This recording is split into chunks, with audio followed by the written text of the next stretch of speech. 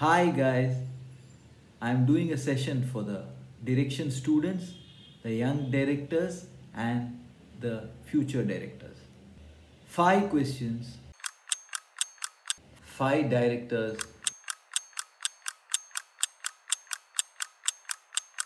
and plenty of answers. I think uh, art will thrive. No. No. I think I'm the wrong person to ask this question to. No, man. I made movies only for the wrong reasons. Well, to be frank, uh, even more than uh, you know making films, I, I like to watch films so much more, and I, I of course do that much more than when making them. And the simple blink of an eye can be so much more powerful when you know seen at that size and that that level of amplification. If you have the writing chops and you have the writing talent, there'll be tons of people waiting to uh, hear from you. It's for me hard to understand that why and why couldn't we really go tell global stories?